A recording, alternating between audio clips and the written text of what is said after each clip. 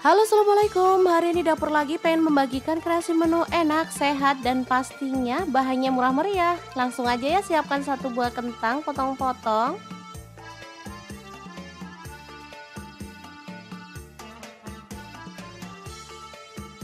Lalu ada buncis, pakai secukupnya aja ya, langsung dipotong-potong.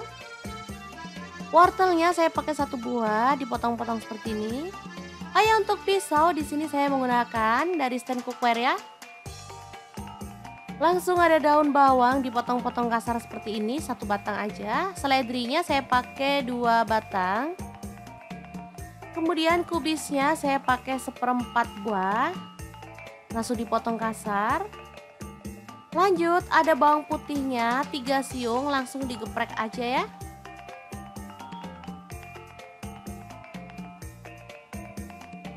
Lalu ada bakso, saya pakai 10 buah, dipotong-potong tipis-tipis seperti ini.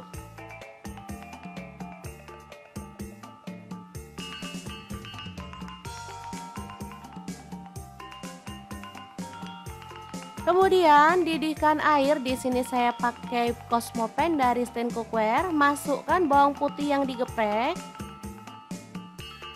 Lanjut, kita masukkan sayur yang agak keras seperti buncis, wortel dan juga kentang ya. Tutup sebentar.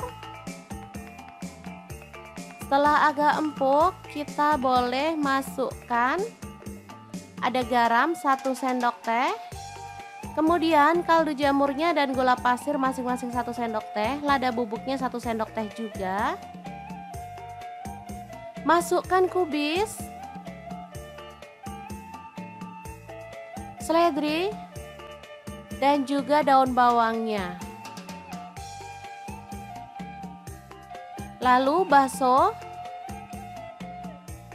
dan kita aduk-aduk sampai merata. Masak sampai empuk, baru kemudian kita boleh matikan apinya. Sup bening yang enak banget dan super simple siap untuk disajikan. Jangan lupa taburkan bawang merah gorengnya biar makin sedap. Asli ini enak banget. Bisa dimakan langsung tanpa nasi atau boleh pakai nasi, sambal dan juga lauknya ya.